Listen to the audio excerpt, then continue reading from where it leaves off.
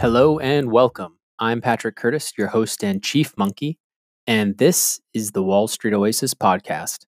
Join me as I talk to some of the community's most successful and inspirational members to gain valuable insight into different career paths and life in general. Let's get to it. In this episode, Pat takes us through his long and winding career as a quant and systems architect. From almost 20 years at the Livermore Research Lab to reinventing himself and joining D.E. Shaw in 2006, we learn about how being curious and having a unique skill set can earn you outsized pay packages. Find out why he was heavily recruited to jump trading and why his jump to Citadel was a mistake, and how everything panned out now that he is retired.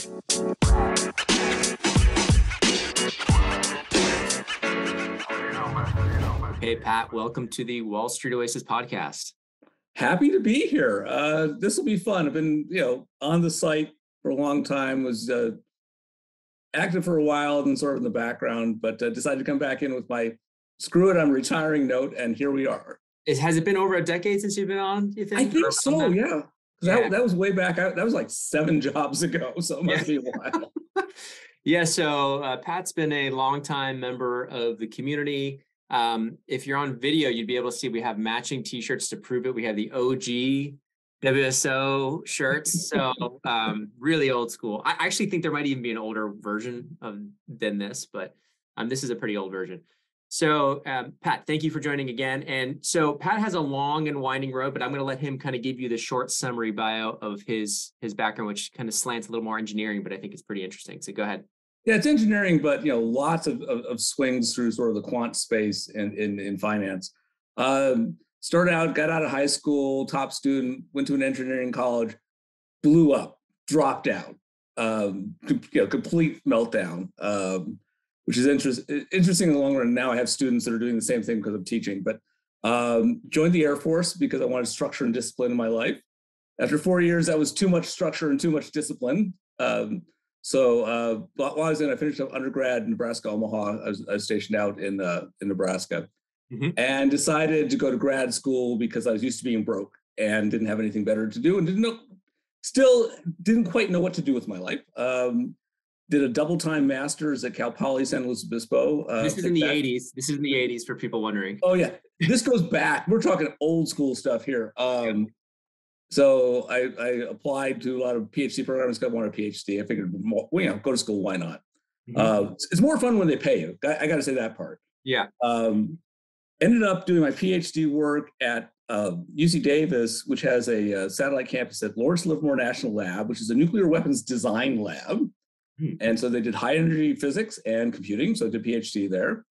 Uh, I was going to teach, uh, but the economy was in the toilet. So I decided to stay and work there 20 years included about seven years of nuclear weapon design.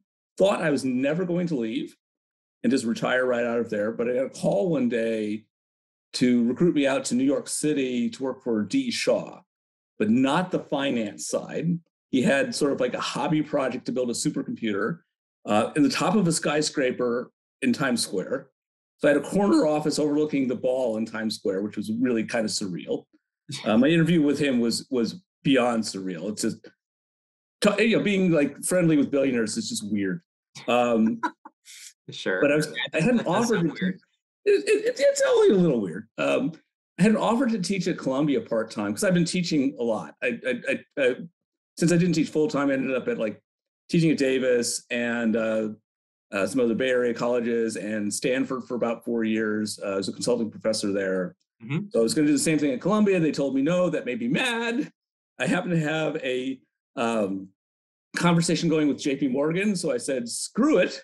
And uh, to, to tech and things, I said, let's try finance World. People thought I was in finance because I was at D. Shaw. So I got all, finance offers all the time, but it's like, no, no, I'm not. I don't do finance. I, I do I, I, do tech and development.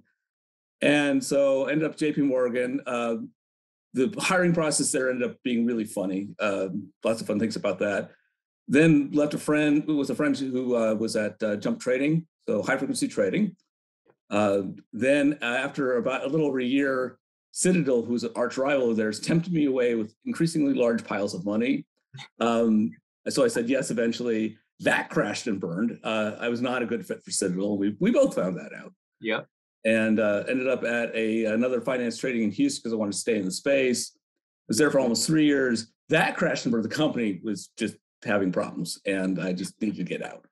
Yeah. And they had a long non-compete, so I went back to tech and did self-driving cars, and then I did Instagram, working on the Instagram backend, mm-hmm. and then I did a year at a crypto analytics startup. Yeah, cool. And then I said it's time to retire, and so I wrote the article, which is how we got here. So very it's almost like you reinvented yourself it's like you were like ah, okay let me go into this quant finance career after 20 years. How hard can it be anyway right? How hard can it be? But i mean it looks like you had a, a lot of great success it wasn't like these were like two month stints you, you're a couple years at jump you were a couple years at almost four years with de shaw in the research uh, yeah. research you know, it's sort of you know you know when it's you, you sort of learned everything you're going to learn at that place and yeah. then try then lets you try something else i do a lot of mentoring work and so it's funny, I tell people if you don't walk in day one with a plan of what you're going to leave with, you're doing it wrong.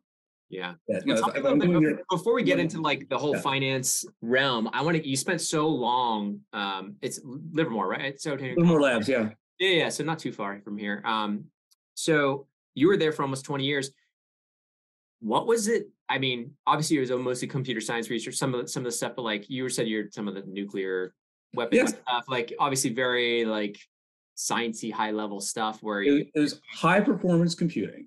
Yeah. And it turns out that you know lots of people want high performance computing, which is why it's been, you know, I've been able to sort of work places. And one of the things I say, I used to, I was a co-lead on on a on a physics project. Actually, it was uh, the project that just did uh, the the, uh, the fusion that got more energy out from the National Ignition Facility. That was running codes I worked on 20 years ago with this guy. Wow. Wow. And I used to joke with him that, you know, there were, I could work anywhere I wanted on the planet, but he was sort of like a nuclear physicist. And I said, well, there's only like five places in the world that you can work. And so that's, that's it. And so, yeah, I learned a lot about physics there. I, people used to think I was a physicist. I learned so much physics. Yeah, yeah, yeah, for sure. And so you were basically there. And I guess what was the career like there? I mean, obviously, there's not a lot of research scientists listening, um, but I think just it helps kind of maybe open their eyes in terms of like what's a career look like. You're just in the lab. You're you're playing. Is it hard when you say computer science, high up, you know, high performance? Are you working? Are you playing with hardware or software at the nano? The, mostly, mostly software. I mean, there, there's some hardware research there too. Yeah. Um, part of it, you work directly with manufacturers of new computers, which is really fun. Cool. That I, I have a collection of like interesting computer T-shirts from manufacturers like Thinking Machines, uh, which was a big big manufacturer in the or big computer manufacturer in the '80s. Uh, we're just trying anything to make things happen faster. Yeah. But it, it's interesting in science and finance both um, that you have this desire to do, do something at a slightly higher resolution than somebody else, so you can get an answer faster than somebody else. In science, you're trying to get a, a scientific breakthrough. You're trying to get a paper ahead of other people yeah. In trading, you're trying to you know get an answer on what the market's going to look like in a in a few microseconds. It's the same thing. Mm-hmm, mm-hmm. Um, How do you feel like? I mean, it's very strange nowadays to see someone right out of school. I mean, you went, you were an academic, you came out of your PhD, and then you went and worked at this lab. Yeah. I still think it's probably pretty rare to stay somewhere 19 years right out of right out of school. It really is. It's funny because my mom told me because I said I'm going to stay here forever. She said, "Don't ever believe that." Yeah. It doesn't, it doesn't matter how good it is. Uh, you'll change, they'll change. You'll want something new. And and you know, the move to New York was I was after something new, and that I didn't even know it until I interviewed. Because I, I, I've been 20 years. Why 19 years? You never interviewed anywhere else. You just said, this I. Were they paying you really in crazy well, or what was going on? They paid me pretty well. I mean, it was good. Um, yeah. it, was, it was solid, and you know, it's like when we went through the, the you know boom and bust. The government's still there paying you, which is good. Yeah. So, um, but low, uh, low, variance, but you know, high six, you know, mid six figure, like hundreds, hundred. It, it, was it was like in the in the low to mid hundreds at the end, uh, yeah. which was okay. I mean, yeah. it was. There were times when you could have jumped out. There was a time when I, I was very tempted to uh, to go interview at Google when Google had like 300, 400 employees at it. Right. Because uh, they were looking for people that did C++ and Python, which is my which was like my sweet spot. Yeah. And um, I decided because I didn't live in the Bay Area, Bay Area, I lived in the East Bay. Right. At the east edge of the East Bay. Um, because you talked about interview, I the last place I'd interviewed was when I finished up my PhD, which had been maybe 15 years prior to me leaving. Mhm. And I interviewed on Labor Day weekend, Friday, and I got caught in Labor Day weekend traffic, and it took me two and a half hours to get home. You're like, I'm never commuting there. And I said, I will never, ever do this, ever. I will never Yeah. be in the Bay Area, which turns out to be wrong. Yeah. Um, so I just I just said no to lots of things. But I got I got a call one day and I just said, Oh, this sounds cool. It was a it was a blind cold call from a headhunter. Yeah. That they're looking for interesting and unusual people. Then I realized I'm an interesting, unusual person. And I also realized I hadn't interviewed. I didn't know if I could. What do you mean? You, you were, I had no pra- I had no practice. oh, if you were like, if you were rusty or like you just, if you could even survive or Yeah, could, could I get a job outside? yeah. Uh, because the national labs are sort of like banks, which are super incestuous. Yeah. That if you go to, if you go to JP, everyone's coming from Goldman or Bank of America, or you know, or, or you know, they just make the they make the circuit right. Yeah. And it's like every interview is, oh, I haven't seen you since we worked together at. Yeah. And uh, and so breaking into finance, which led to a very interesting story with one of the MDs. So during the interview. let's talk a little bit of that. So, you know, it's 2006, everything's booming. yeah. and maybe some cracks initially in 06 but so you're you're at the labs and then what you know how do you get in touch with de shaw or how does de shaw get in touch with you It, it was uh, they had they'd hired a specialty recruiter to find people that were um, quote unquote interesting, um, and so that was you know, people that. So their their philosophy is you hire somebody who excels at anything, and they'll probably excel at the thing that you want them to do. So um, you know, I worked there was this guy who was one of like the top ten uh, one day winners on Jeopardy. There was a, a concert uh, uh, trumpet player. Yeah. Um, the uh, let's see, let's see. Somebody else had had had uh, his administrative secretary had graduated cum laude with physics from Princeton, but was trying to break into a music career. So uh, was not pursuing uh, you know a graduate school in physics. It was a weird collection of people. So this guy was out going finding weird people, and he called me. Mhm. Um, I had sort of a footprint because when I was at University of uh, San Francisco, I built the world's largest one-day supercomputer in in the college gym, uh, which put me on the front page of the New York Times, which was weird. Um, was also on the front page of, Time magazine. because because you because you built the largest computer in a day or what, what do you mean Yeah, it was a day. We took, we took laptops, we built a ginormous network. We're trying to see if we could build something that was fast enough to be in the top 100, 500 uh, fastest computers because there's a list every year. got it top 500 and it was sort of like the last year where it might possibly be possible Yep. uh, be, because yeah, it, it sort of moves at a pretty consistent rate and i knew uh, six months when they, they do it every six months that six, even six months later would be too late Yeah. and so uh, somebody told the new york times so i got a, a call from their uh, tech editor and he interviewed me over an hour or so and then it would have, and no one at the lab knew until like they saw it because they have news scrape scraper service. So I got a call like eight o'clock in the morning, and people said, "What the hell is this?" and what year what year is this this is 04 or It's like 04 or something like that. Was uh, right before right before I moved to Stanford. Yeah. But you know, he was scraping through national labs because it, it, it was a good profile fit. We are building a supercomputing uh, a supercomputer for protein folding, and and so, so yeah tooling and stuff. you need um, so and I was big in the Python community very early, so that was another piece of it. yeah and so d shaw had that recruiter they the what was the interview like tell me about that because you mentioned that right you said it, Okay, well, the interview was uh, was was, was they fly you out to new york I fly out to New York. I get there. I call my wife. I say it was like January 2nd Mhm. which is a very sad time to be in New York because, well, uh, I, I just remember you know driving through. It was gray and horrible, and you know gray slush everywhere. I said. "No way, I'm taking this job." Period. yeah Um, though my mom was from New York, so I thought, thought I'd do it. Thought I'd go back to see what happens. Then I went to the interview and talk with people. It was puzzle problems. Um, one guy asked me, you know, what's the square root of 1.2? And that turned into like a 30 minute discussion about analog computing and Newton's method and numerical stability. And it just was this crazy, deep, amazing dive from a very simple question. Um, and went on and on. And at the end of the day, I called my wife and said, I totally want this job. yeah And uh, and then you know, even though even though I walked back to the hotel and um, the gutters were filled with dead confetti and the smell of vomit from New Year's Eve oh, in. Times Square, but I didn't care because it just seemed like a chance to work with amazing, smart people all around me. Because everyone was like top of field, and it's like, I want to work here.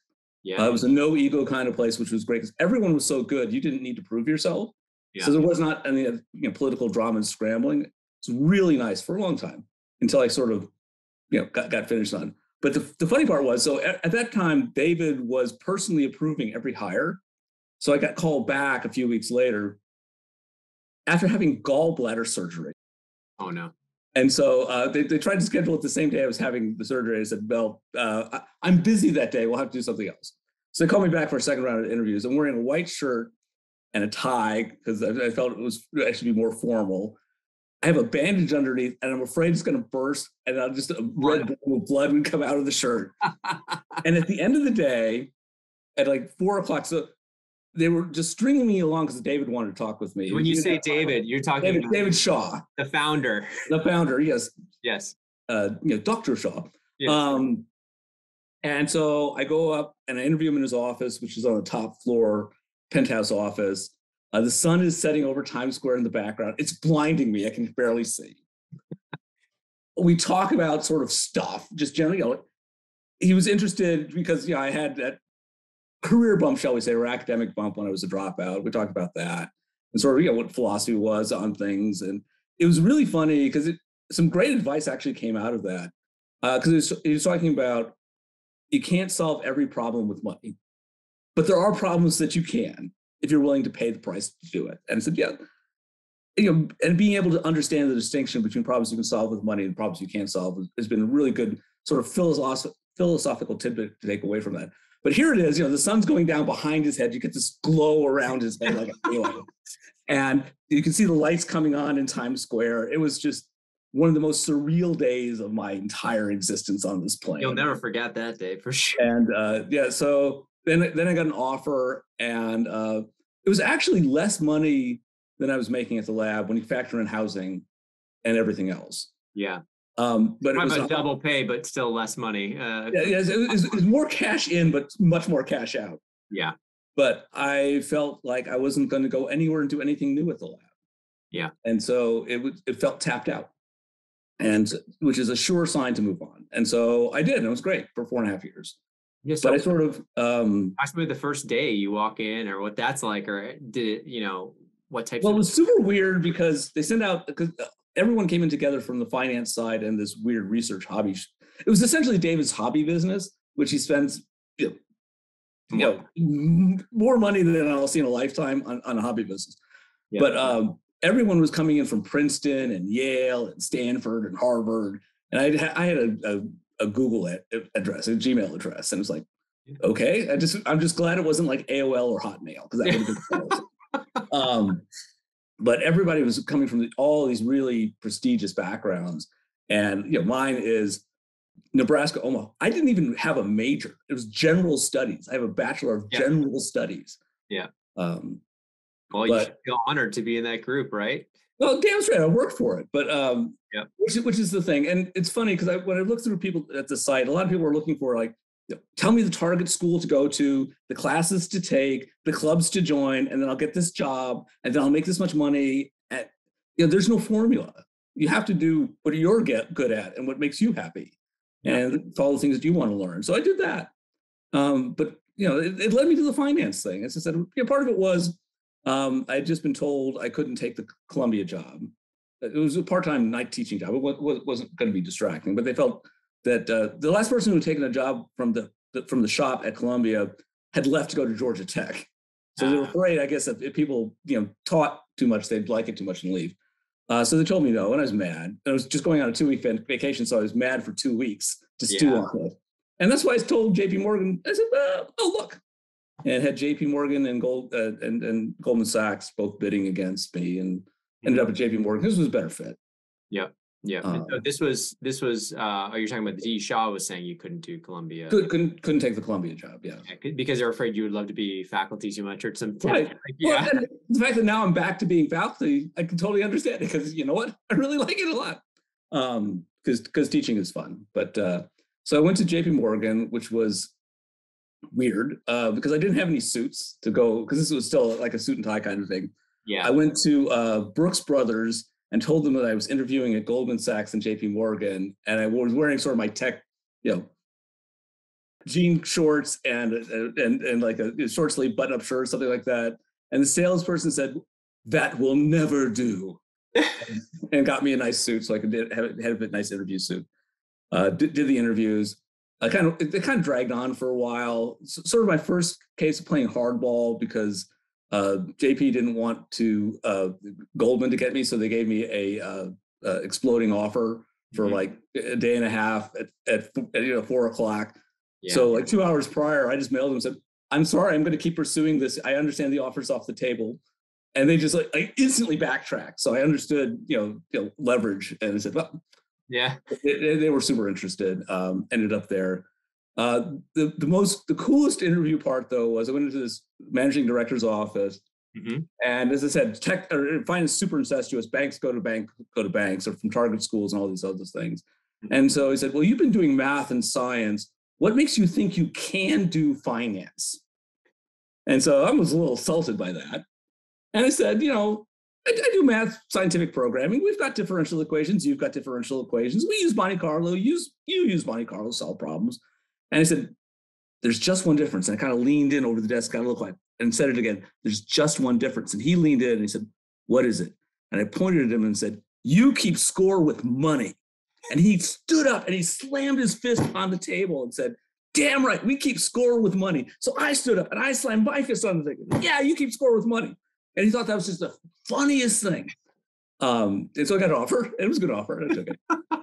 Um, so wait, pay raise, pay raise coming out of D Shaw. Oh, this, this is big. Yeah, coming coming out. Of D Shaw paid pretty well. Okay. Um, it's funny because uh, I've had. Are you like, talking 200 at this point, 250 at this point, um, 300? Because like you're, you're, all, all, all in, it was a lot actually. Um, yeah, was is like four 400 something, which is which was really good for the time. Yeah, yeah, yeah for sure. Uh, uh, 06 to 010 to 10. And, yeah, um, executive so, director title, which I didn't realize at the time was really useful because that's that's a hard jump to make. Oh, so that, that was that's what you're getting paid at JP. You're saying when you jumped? Yeah, with the jump. Yeah, so so I was in the mid threes or something at D Shaw, which paid pretty well. Yeah, uh, which was interesting because I had an offer from Google uh, coming in, and I just talked with them, and they put an offer on the table. And that afternoon, D Shaw just jumped everyone's pay like thirty percent. And it's like, well, you know, I'm going to make more doing the thing I really like here. I'm going to stay. So I didn't take the Google job. So the Google job would have worked out great in the long run, but you know, whatever. Yeah. Um, I think I think I made the right choice at the time. You still got me. there. You still did, did it well for yourself. I, I, did just fine, which is and had fun. That, that's got to be the, the end of the story. Yeah. But you know, but the big bank was interesting. I was used to bureaucracies. I did the. I did this was this was 2010 when you jumped, right? 2010. Yeah, 2010. After about four and a half years at D Shaw. Yeah. It's, it's funny because I sort of they were working on this new computer, and the first computer was done. And the chemists were really happy because they had a computer to play with. And I built out tooling that was good enough for this machine and one that was 10 times faster that was in development. So the architecture guys were building something, they were having fun. The chemists were having fun. I said, I'm going to be bored for the next few years because I've sort of done everything that needs to be done for now. Yeah. It's one of the things that made it easier to say it was time to go do something else and learn a different discipline. Yeah. So, you know, I learned about big ass banks and how they work and how their bureaucracies are really horrible and stultifying. It's hard to get things done and sort of all the drama that makes things go at the banks and how it's about headcount and projects and and you know political you know subterfuge angling and, and, weird stuff going on and and weird stuff but yeah but it was a good time i learned a lot there i mean that's sort of the point is now I, I, I sort of moved did out. you have a team of developers under you or how was the like you were executive director but like how did it work? Were you managing or were you more like on the front lines actually as more front lines. Jp was a big mix. Um, you even had managing directors who were still slinging code. Um, the first day uh, I, I, met one of the managing directors another one not not not the slam his fist guy but yeah. uh, another another one and all he said was i heard you're the guy who makes code go fast. And I said, okay, I've been I've been at JP Morgan for 30 minutes. Yeah. I'm walking, walking around the floor. And they said, I hear you're the guy that makes code go fast. I said, yeah. So he pointed a code on the screen and says, make this go fast. And I said, change two lines, it'll go 15% faster because you've got to be a baller, right? You can't just go, oh, well, yeah. No, just point at the screen, two changes, 15%. I didn't know he'd been working on it for like three days. So it was, it was in pretty good shape, but it wasn't there. And they he, he ran it. He already had all the timing framework around it, and it ran 14.7% faster. I said, sorry, I was off a bit. Yeah. And he's like, and he's just, he just says, fuck, this is just. and he typed in a message that was broadcast to the entire team. When this guy talks, listen to him. Yeah. Uh, so it's a baller move. Uh, I, That's an awesome first impression, right? Yeah, well, it was based. It was based on something. It wasn't complete wild ass guess. I mean, yeah, yeah. I, I knew it'd be pretty close. Um, because it committed a a minor but very unprofitable error in terms of coding. So that helped. And I had a team, and I worked a lot on things like code quality and teaching quants how to actually program. Because uh, they're smart, but sometimes they just do stupid things because they just don't know because they haven't spent the same focus time, time doing it. Yeah. Yeah. So um, your whole thing was really about fine tuning the code to be a- absolutely streamlined. So like instead of the spaghetti code of like 400 lines, you'd be like, no, do it in this one. Line. It's like do it this way. I mean, I used to, there's one guy I used to fix his code by shouting over my shoulder. He said, "This is broken." I said, "You did that." He said, "No, I didn't." I said, "Yes, you did." And he did. He says, "Oh, yeah, you're right." Uh, you know, is making people be more efficient. Yeah. So you know, it's it's people need to be efficient. The code needs to be efficient. You're trying to solve a problem. It's helping you solve a problem. So, what was your code being applied to do? Trade uh, high frequency trading. What was so this was this was risk management for the investment bank. Risk management. So, so lots of you know lots of modeling, lots of Monte Carlo, lots of what if scenarios. Yeah. Um, so it was. So this is this is sort of like the code that kind of interesting time to be there. 2010. They're very still investing heavily. Oh, I was in the Bear Stearns building. They had just bought it and uh, and moved a lot of the team there. Um, I think they bought Bear for the building. Yeah. I don't think they bought it for any of the people or any of the assets other than the building. They wanted the building, uh, which was really cool to go up to the big, you know, fancy boardroom on top of the old Bear Stearns boardroom. We had meetings up there sometimes. Uh, it was really cool. But again, I learned a lot, and um, you know, I was, and I was doing well. Got you know, got big bonuses and even sort of above, uh, you know, promised bonuses, and, and that was going well could have had a great career there, but uh, you know, it was a, a, buddy just said, "Come move over to the buy side and do high frequency trading." Uh, it was a buddy that I had given a, a, hint to about how to do some file transfer stuff faster in the past. He said, "Oh, I used that, and we, it made the firm like ten or fifteen million dollars when I switched to using it." I said, "Well, I, I, hope you got part of it." Yeah. and he did. Uh, so he said, "Come work for it, and you can get part of it too." I said, "Oh, okay." So that's how I ended up at Jump Trading. Yeah, uh, yeah. Part of it was um, I wanted to stay in New York City because we were living north of the city in Westchester. Yeah. And didn't want to move the kids in high school because that's the kids were in high school. It's just a bad time to move teenagers. Yeah, yeah, yeah. Yeah, you're already dealing with enough crap. Yeah. Well, they, they, when they talk to you, they're not generally very happy with you. You have girl, boy, boy. One of each. One of each. Um, which one's older? Older boy. Older boy. Okay, yeah. I have so he was he's going through that. Ugh, don't want to talk to my parents. Yeah, yeah, I get it. I get it. But uh, you know, I don't get. I don't really get it yet. My my oldest is seven right now, so I've. Uh, you'll get there. You'll know. Yeah. Um, but uh, that's also when I learned how to fly. When my kids weren't talking to me, so I figured they wouldn't miss me too much.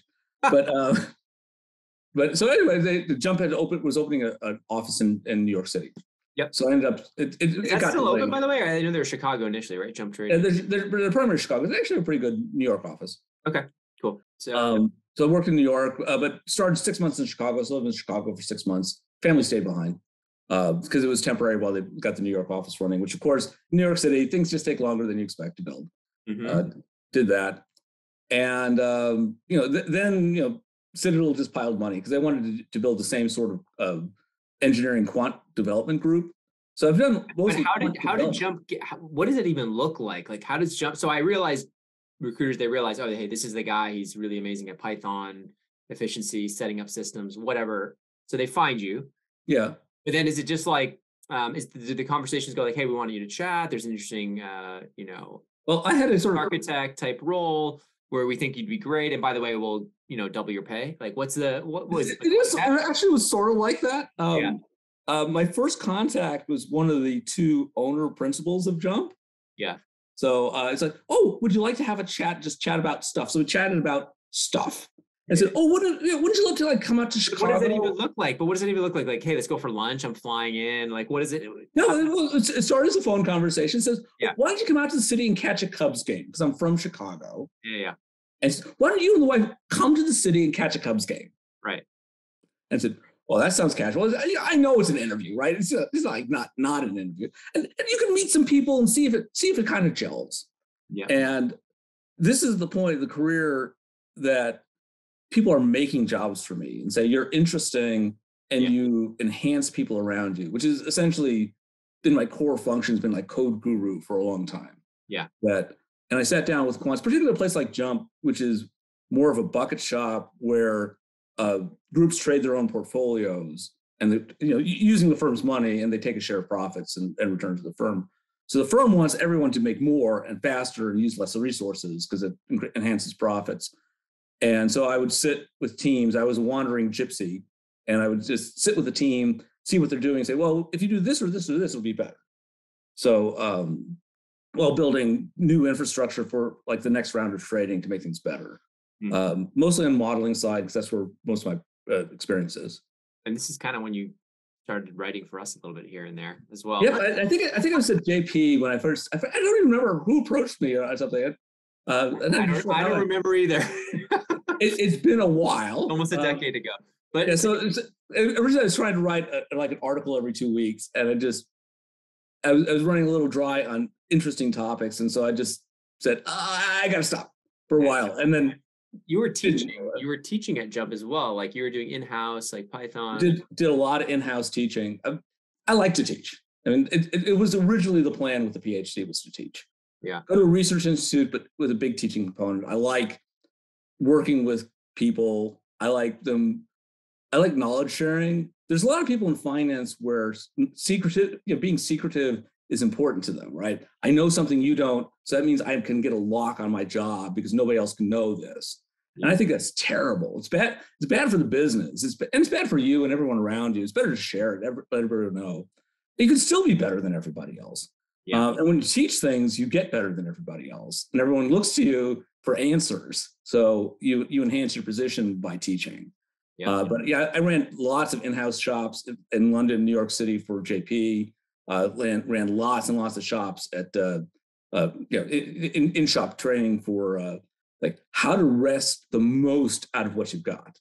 That you know just even some small things of how to do this and, and, and do modeling because people just don't understand where all the sort of all the performance goes. And performance really, particularly HFT, is king across the whole spectrum from modeling side to uh, to execution side.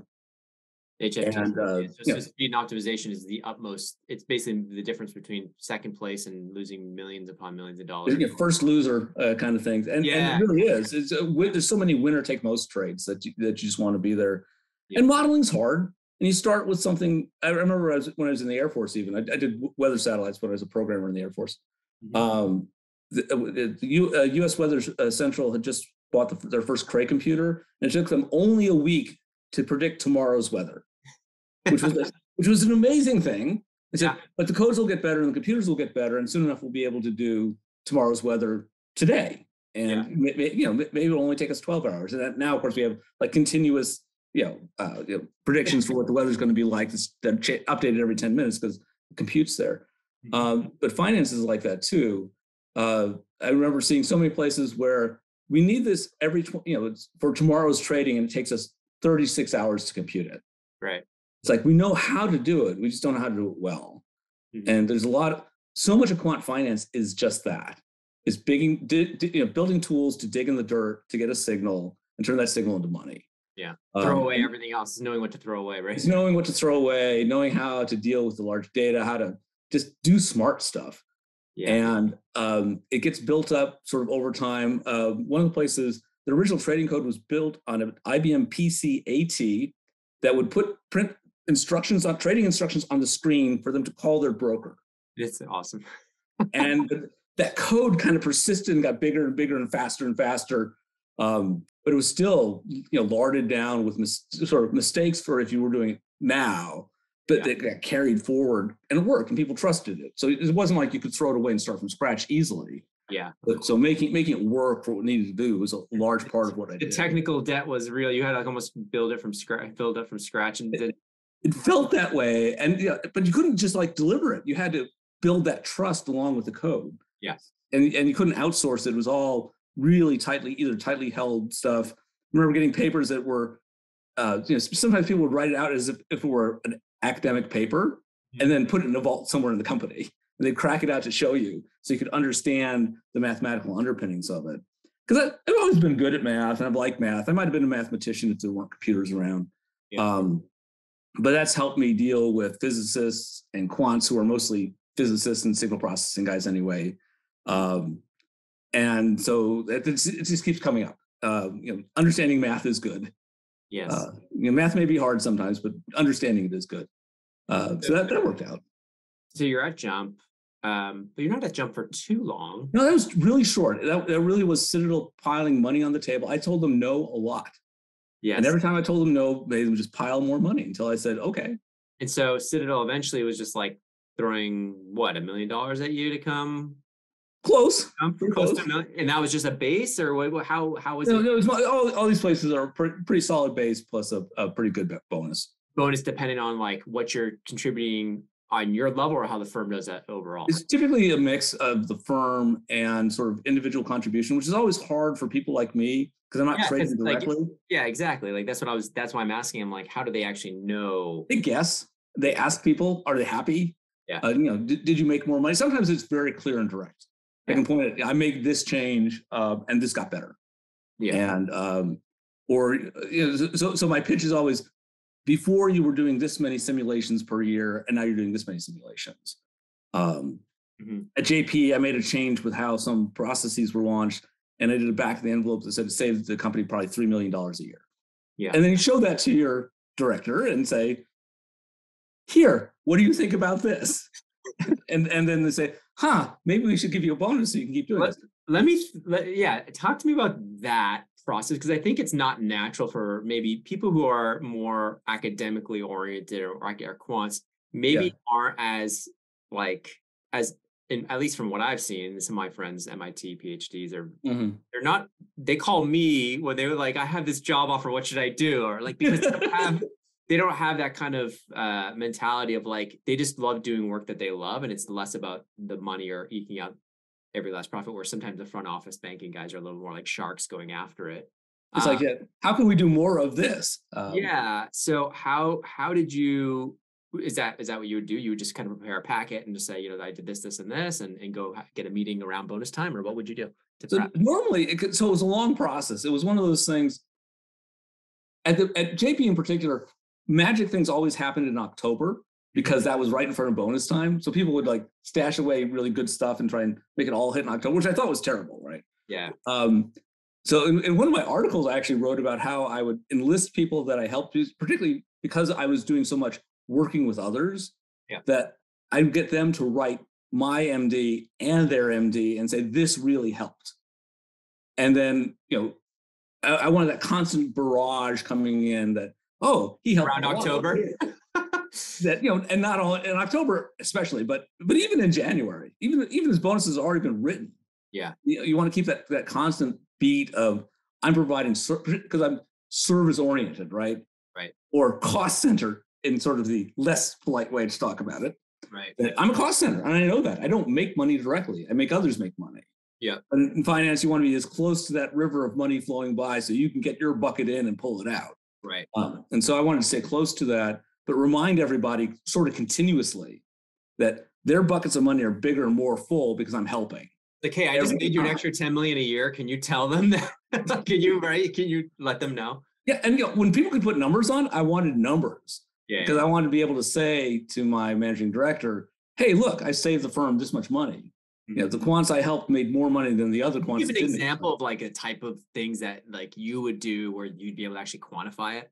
Is it like speed of this, or so is it like oh you need less resources, or was it more? Like- sometimes it's, sometimes it's pretty easy, like it's a resource thing, right? Right. Um, so it was just funny because the same thing happened at Instagram. Um, but I, I did I, I, sped up a process where it took a while for processes to start up because they were doing something stupid and naive. It was, it was not even stupid. It was naive, right? They just didn't know. They didn't know they were doing it. And I knew they were doing it. I knew they could stop it. And so I did a. I, I sort of poked around to find out how much computing costs per year to get a, a sort of a per hour cost. And I said, all right, I'm saving you know five minutes per launch because these programs were taking five minutes to launch where it was doing no real work. Yeah. it was being launched all the time. And I added it all up and I said, divided by the per hour, it was $3 million. Yeah. And I told my MD, I just saved the company $3 million. You're yeah. welcome. And you can, and it can be j- just as blunt as that. Yeah. Right? um, And same thing. eh, Funny thing was Instagram. There was this stupid little mistake deep Yeah. inside the Instagram backend, and um, yeah, it was, it was easy enough to do. And uh, actually, some other guy was poking around and noticed something that looked a little off. So he asked me about it. Then we dug in hard on it and found it, and and removed it. Was like ten percent of the cost. Yeah. So it was like it adds yeah, up yeah. at that scale. It matters. yeah, with billions of users, it adds up fast. Yeah. Uh, and and uh, and Instagram's actually really big on that. It says it doesn't matter how good your fix is; it's what does it do. Mhm. That you can come up with something that was just brilliant beyond all belief that has like zero impact on the bottom line. They didn't care. Yeah. you can come up with a stupid fix. If it saves Zuckerberg a billion dollars, he cares, and it will be reflected on you. Yeah. And banks are sort of the same way. It's you know, show show me the money. Yeah. And uh, I learned that at Jump too, and because uh, sort of the guy that, that recruited me out there was really good at that. He he would quantify everything he did. Yeah. And he could tell you exactly how much money he made the firm every year. Yeah, and so he was kind of like, if you want this to keep happening, that's, Yeah, if you it's like, uh, things like, "Oh, give me the bonus. And and once you have enough bonuses and he doesn't have to do it anymore, it's like, yeah, and you must keep me happy and interested. Yes. Not not leave and go to a rival. It's just I'll just leave because I don't need to work or want to work anymore. I Yeah. it had to be interesting to him too. So tell Uh, me, yeah. So tell me, how did your pay scale? Because you were, you know, your D Shaw, you're getting paid pretty well, four hundreds, you know, by the end. Then Yeah. you to JP, JP's giving you up I to mean, it's sort of like uh, I think at, at the end ended up about 500 at uh, JP. JP. Then jumps like, oh, we can do better. We do better, so it was like a 25% raise there, and Yeah. maybe a bit better than that. And it was- You're it was making uh, like, you're making, you know, over half a million dollars at this point. Um, yeah, I'm, I'm, I'm making like 700 or so. yeah, something like that's that. a big jump. And then That's a big jump. Instead you of know- like, hey, we can get you even closer to, get you closer. and to, you know, it's, uh, Citadel All In was you know was, was a, uh seven figure thing, and it's like that was pretty good. Uh, there's there's bonus and, and sign on bonus and everything, but um, you know, no, but that that obviously didn't last very long. no, it only, it only lasted a year, and I didn't actually get to see all of it. I had to give some of it back. Okay, Um, what- happened? So let's talk about that because I think that's a really good learning. No, It is a learning thing, and sometimes it doesn't work out. Um, so partially, I was in, it sounds like you're doing great at jump. Like I was, you, doing, I was doing great at jump. Yeah. Uh, it, it, it- sort of the only regret I have in my entire career is that I didn't stay. didn't say jump. Yeah, Didn't say jump. Yeah. yeah, yeah. that um, I was tempted by the big piles of money, but I was also tempted because the offer sort of had like three parts to it. They wanted me to work on like internal training, which I really like to do. Mhm. They wanted me to stand up a development group, and which is sort of what I was in at, at, at Jump. So they wanted to recreate that sort of experience. Yeah. And uh, you know, I'd, I'd have you know free rein to hire hire my team, Mm. and and it turns out that didn't happen. Sort of like none of it. None of it happened yet. Uh, partially because the their CTO was in an internal political battle that he lost, and he was fired, and I was fired. I get it. So you were like, there was internal battle. All his recruits were like, you were in that. we we, that we were no longer lost. Needed, and but frankly, the fit wasn't good. I, I was already looking because I, I I felt the fit wasn't good. I I produced good work. Uh, I, I ended up you know working on the research cluster, making that really great. In fact, one of my friends interviewed at Citadel afterwards. They said, "Look at this great research cluster we just built." And it's like, oh, I built it for you. You're welcome. But Yeah.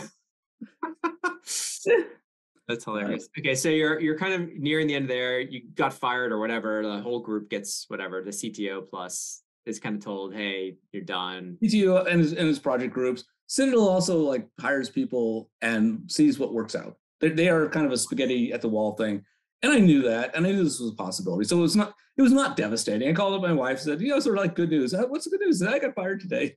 I'm going home. I have some free time now. I got, got a little time. It's like okay.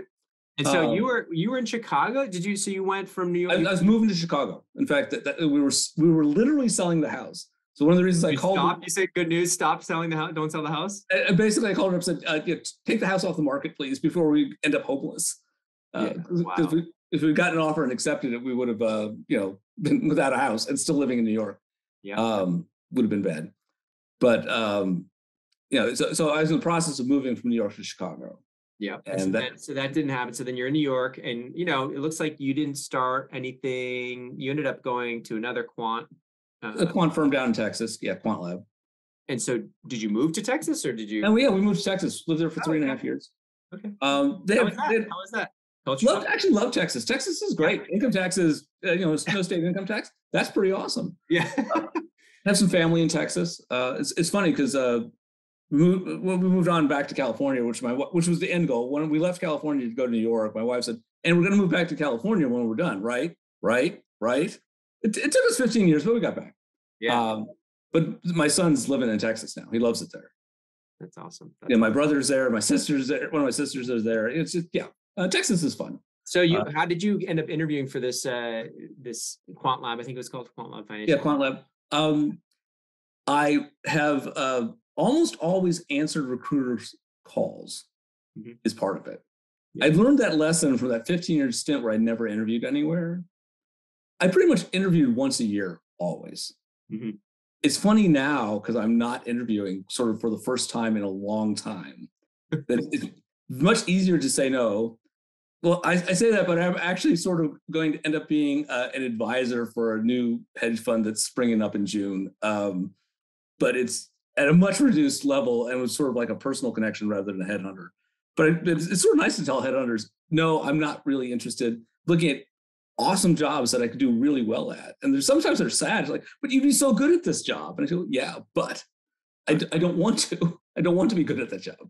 Yeah. Um, but with that, I'm sort of in a lot of people's back pocket when they say, I need somebody who can do this. I need a really high end senior engineer who can make things happen. Um, smaller trading firms in particular that want to be bigger. Yeah. That there, there's there's this real, energy barrier you have to push through to go from small to medium to large. yeah. You got to get all the systems uh, up and running, all everything. It's crazy. systems and scale and people don't scale the way you expect Yeah. and so you know they want someone who's that, that senior engineer who can help move things along i was working with a lot of junior engineers at quant lab um, partially because several of their senior engineers all left the firm right after i started Oh no. Like within a month after i started Why do you think that is? Do you think they were like intimidated, or do you think it was just like, oh, we don't? no no no it was, it was, someone had been working on these other things for a long time Got it. uh, one more one more time with family, so he's just going to take some time off. Yeah. Uh, but it kind of threw me into this. Now I have to really run um, the modeling side of the shop Mhm. from from scratch and advance the code and make it you know make it better you know and, and advise on hardware. The nice part it was a great learning experience, and that's that's what's nice about smaller firms is that you can really get thrown into everything? The deep end. you have to do everything. You have to know everything. Yeah. Uh, and so that was good. But you know, the, the firm had some internal drama. There, there, you know, lawsuits and when there's lawyers involved, it takes a lot of the fun out. Yeah. Um, so I had a heart to heart with the CTO and said, I'm going to resign. And he said, I understand. And he really did because he, he resigned like a month later. so um, it, it, it was trying to find his footing. It was, it was a weird time for trading, uh, Yeah. particularly, particularly for the, details of the trade they were making. It was hard for them. Um, so you were you were kind of had a nice learning experience there. It sounds like you did a lot of heavy lifting. Um, Yeah. And you're kind of it's 2018 at that point, and so I decided to go to tech because it keeps me out of the non-compete land. got it. Um, yeah, and non compete what for like a year or something you can do. two years, two years. two years. Yeah, it was it was pretty egregiously bad. But I said, yeah, I, I said, yeah, enforced that. on me. can't- they probably would have been, would not have enforced it, or you know, who knows? if push had come to shove, I'm sure it would I could have dealt with it. And I and I knew that, but I was I was also sort of jaded with finance at that point and said I need to do something different for my head. Yeah. And uh and Oh, so self-driving cars. self-driving cars because what is cooler than Nothing. a robot that drives itself with lasers it's just it's pretty awesome um and I, i've ridden them it, it's, it's pretty awesome and my, my son actually drives in, the, in their trucks in texas every day now uh they're, they're on the roads they are there they are among us Well, Um, talk about self-driving a little bit. Oh, this is so. Talk to me about Tesla's FSD versus. I said first off, tell me a little bit about, about Aurora. I've heard of them, but other people may not have heard of them. yeah so so aurora is one it's the the big independent self-driver most of the other ones are associated with somebody uh, you know, Waymo's got Google's deep pockets. It started as a Waymo, uh, or it started as a Google uh, uh, moonshot project. Mhm. Uh, the others are associated with the big auto manufacturers like Cruise, Cruise. GM, yep. Yeah. Mhm. And, And, uh, Tesla obviously is Tesla with Tesla, Tesla's got its own internal shop. Yeah. Um, a lot of people thought it was easy. That uh, there was literally an engineer who rushed to buy a car because he was afraid he would not be able to buy a muscle car that didn't have a steering that, that had a steering wheel. the the next time he wanted a car, and he was off by mm, probably about fifteen to twenty years.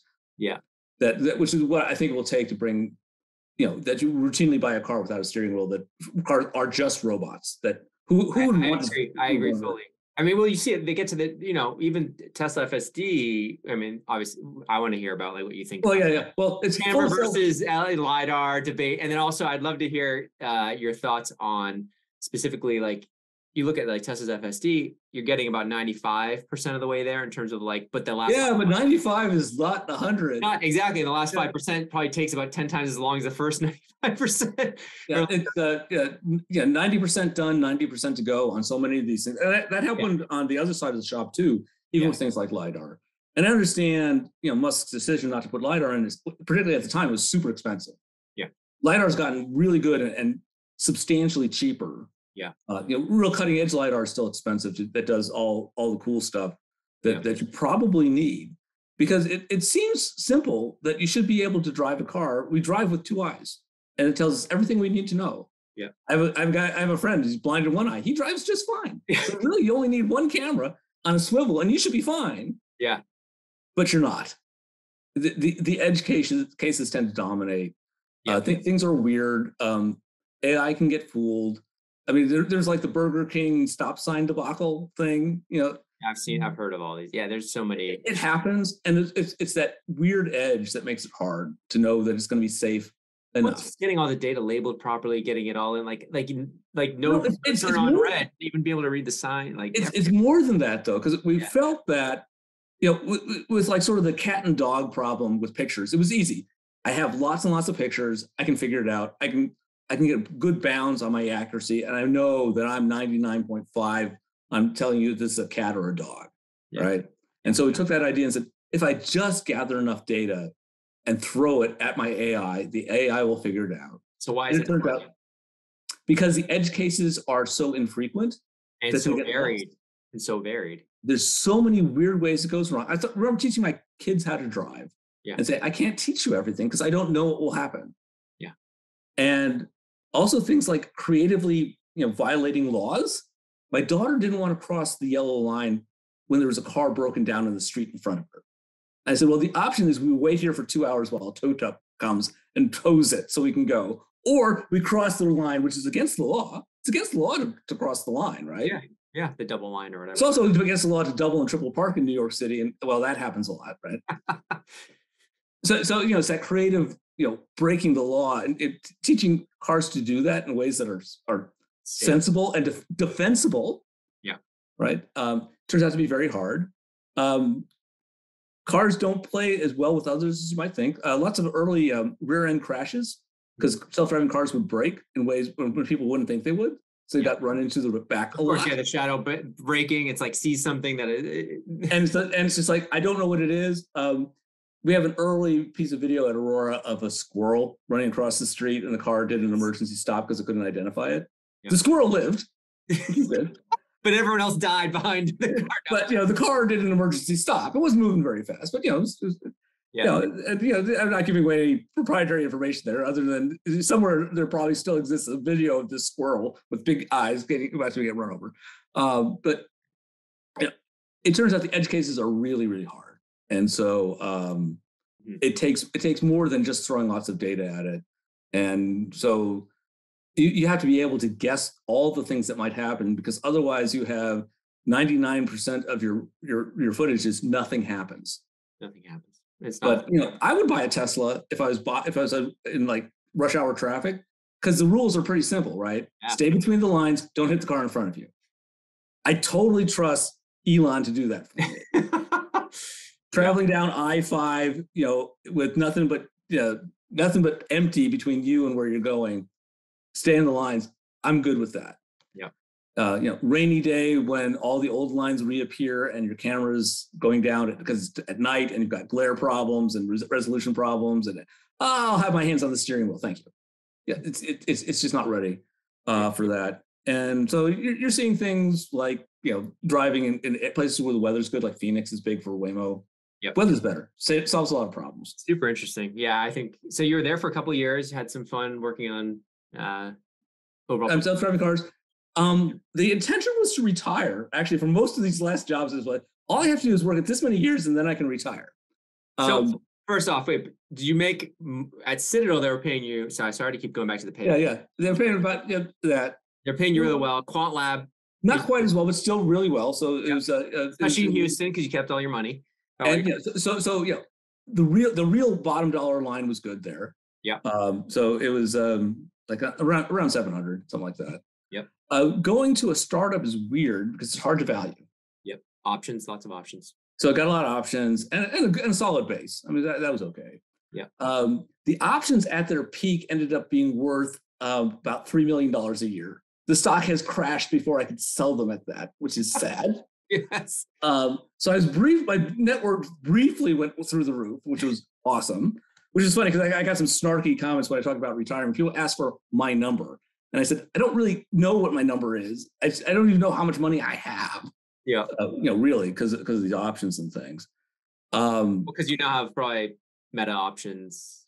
Right. Uh, uh, no, I sold all my, all my Facebook stock. I sold it before it crashed. So yay okay. me. Hey, good, good for you. Um, when uh, right now, my, my sister-in-law did the same thing because she was working there as a recruiter, and like they had almost like half their network. I'm like, "What are you doing?" I'm like, "You sell all this." I'm like, "What happens if it goes south?" Six months later, she's fired.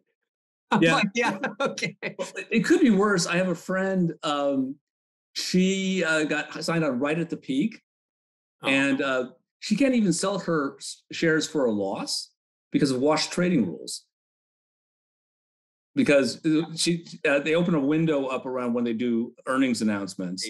Yeah. So, so that you can only you can only trade it for thirty days, but at the same time you're being given shares which look like a, a like like a purchase, and if you purchase and sell at a loss, it's a wash trade. So you can't even. T- oh, so they're really screwed. I'm glad I'm out of the of the of that part of it.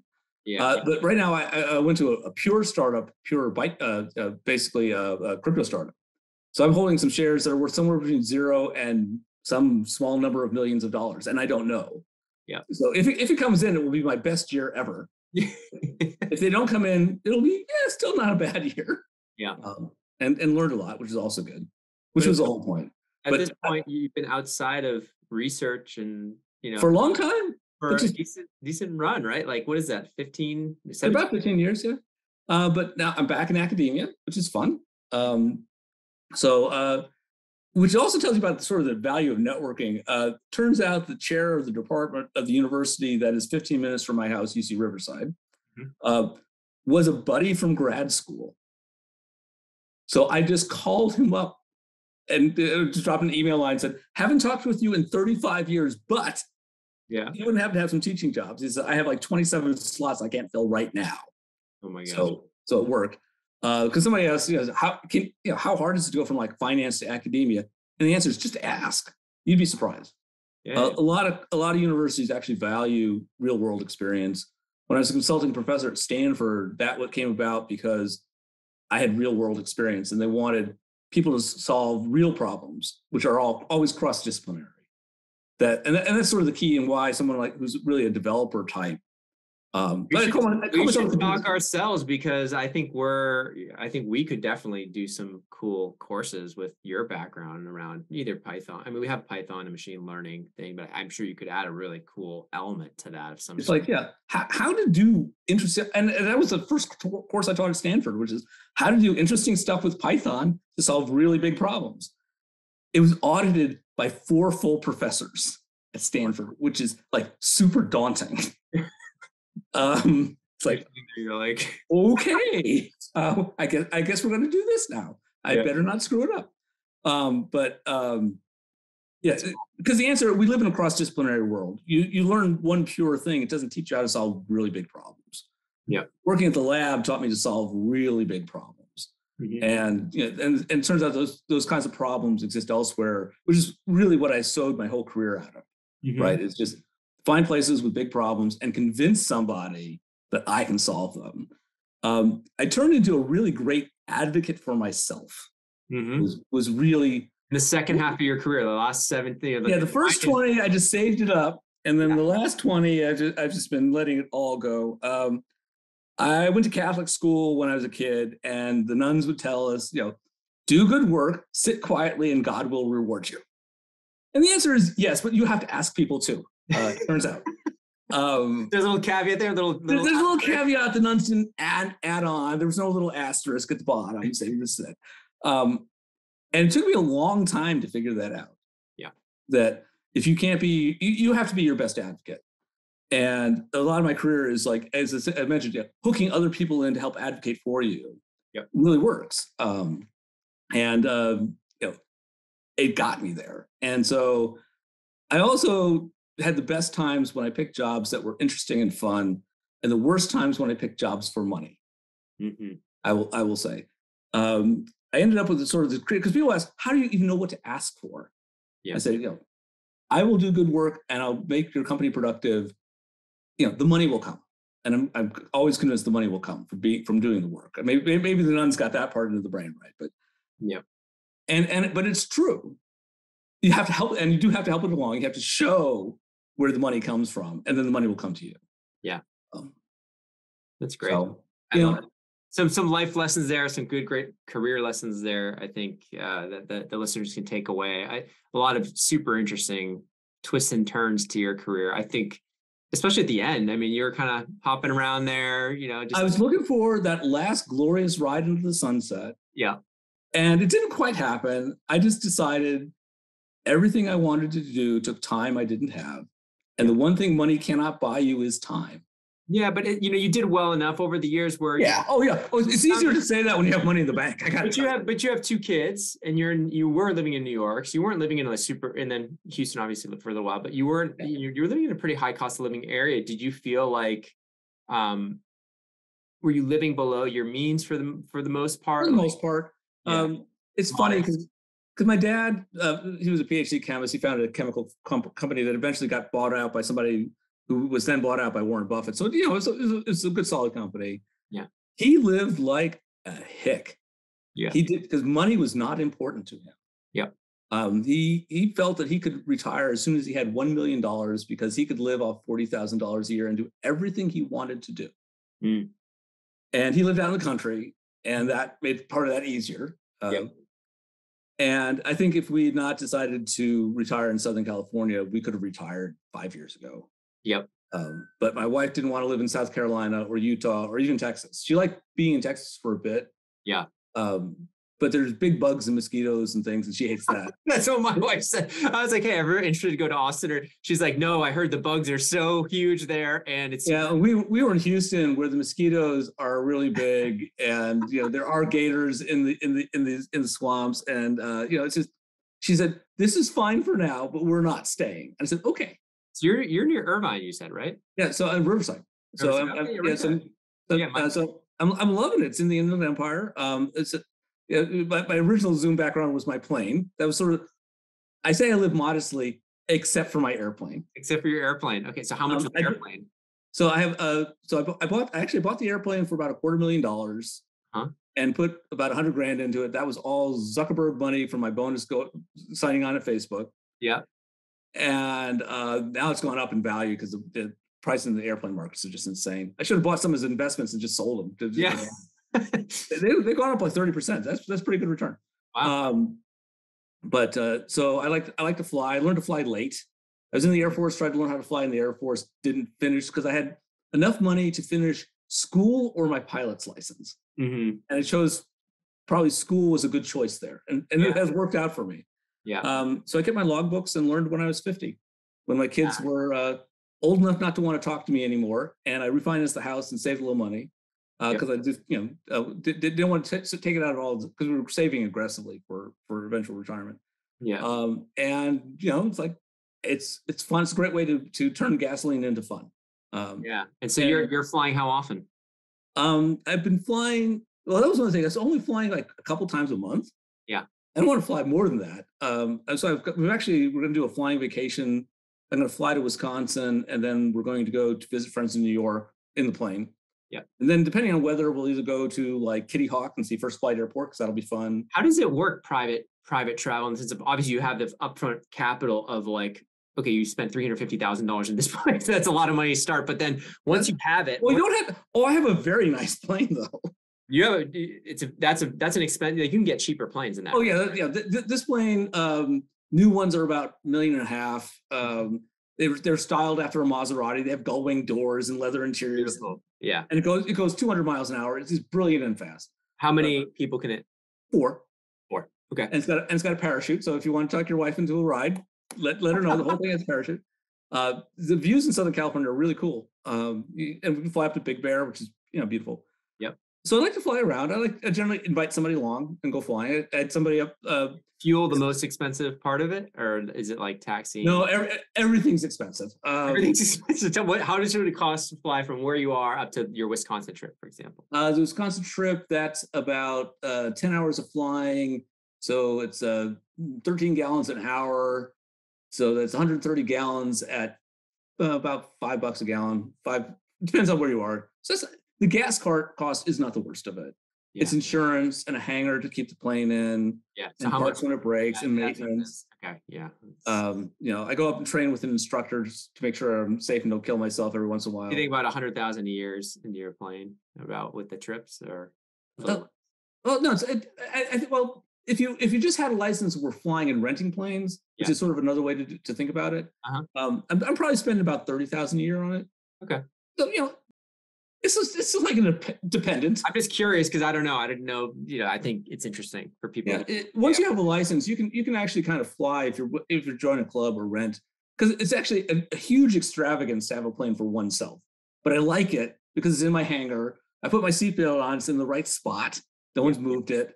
Uh, no one's dented my plane because no one else is, can fly it. Um, it it is an extravagance. It is not practical any way whatsoever, and I don't care. Um, It is sort of my only outward thing that I'm rich yeah. really. Yeah. Um, you know, the rest of it, I live in a for Southern California, pretty nice, but not that crazy house. Yeah. There, there are nicer houses on my block, and Yeah. that's okay. I don't want that house. I, I like the house I'm in. Yep. Um, I'm going to community college right now with a Mhm. bunch of 18 and 19 year olds learning to be a mechanic Oh, because I that's, think that'll be fun. that's awesome. And it's one of the things that I wanted to do, but took time. And that's and that's why I retired. I wanted to fly. I wanted to you know go take these mechanic classes. It's going to be fun. Uh, my son's engaged, and soon I'll have a grandkid in Texas, and I want to fly my plane to Texas and Yeah. my grandkids. Um, all those things are time. Uh, I've been mentoring high school kids who want to fly because why not? Why not? I, I've got maybe 20 people I'm mentoring that I've picked up over my career. Still, I mean, some go way, way back.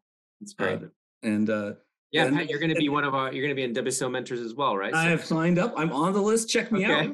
out. I didn't even raise the prices. I th- I want to provide kept the it low. He kept it low for I all. kept it low. You're getting a incredible quant here. It's, it's a bargain. Um, but uh, you know, I, I I like the mentoring thing uh, because again, I, I give people advice, and you know, it, the advice is what you make of it. But it's not. People like to check that against real things, and I think that's a way to give back. Uh, I had great mentors early in my career.